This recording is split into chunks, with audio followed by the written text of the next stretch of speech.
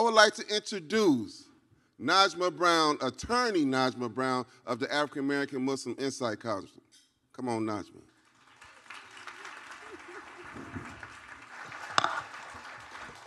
I don't know why they have me going after entertainment and Umar. Um, Mo was amazing, by the way. um, thank you, Umar, for the introduction. Assalamu alaikum, everybody. Um, I lived in the Middle East for several years, and I could talk about my driving stories there. And I ha- well, I'm going to share one story. I know I don't have much time, but I remember I was in Kuwait, and I remember there was a sign that used to be under like the freeway, like you know the underpass, and it would say like your driving shows your civilization, and I would be like, but everyone's trying to kill each other, so I was just like, but I never experienced um, crazy driving like I did when I was in Egypt and India, so. Um, so yeah. I am here to talk about the African American Muslim Insight Council.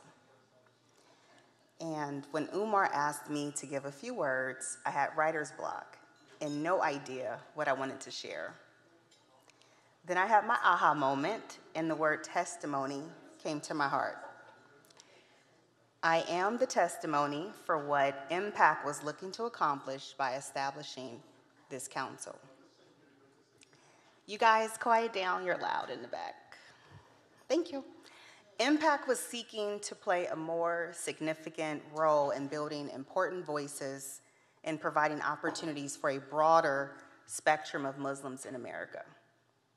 In September of 2020, Umar, Katrina Hassan Hamilton, Imam Tariq Akil, and myself founded the council later joined by Khalud Madani and Imam Abu Qadir El Amin.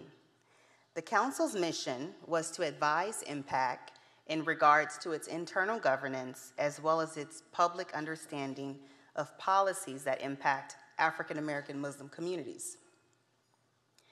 From the inception of the Council, MPAC has worked to ensure that African American Muslim voices are represented and included in their outreach and advocacy.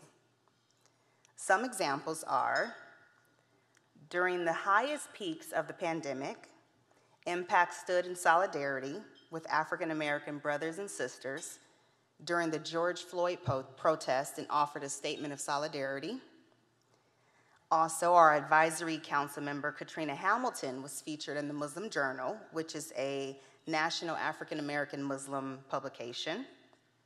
MPAC also accepted applicants from the Black Muslim community as part of their 2021 Congressional Leadership Development Program. Also, MLK Day 2021, MPAC stood together with the African American voices and delivered a message of solidarity for health, security, and protection. Through its Hollywood Bureau, MPAC is a catalyst to uplift the American Muslim narrative in the movie industry by providing coaches and learning labs for Black writers. Lastly, but not least, my final example is me. I am the testimony. I am also a board member for MPAC, which um, I joined this year, so that's amazing. Everybody clap.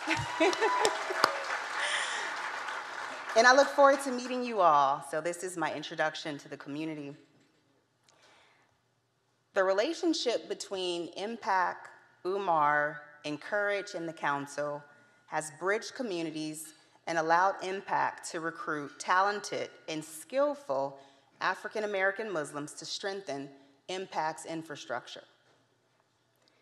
MPAC having such a council is necessary and invaluable.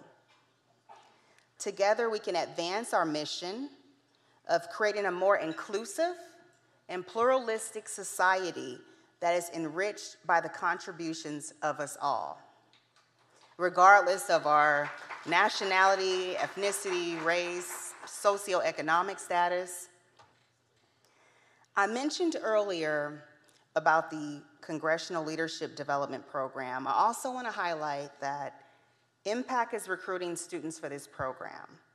And you don't just have to be a Muslim student. So we want you guys to spread the word.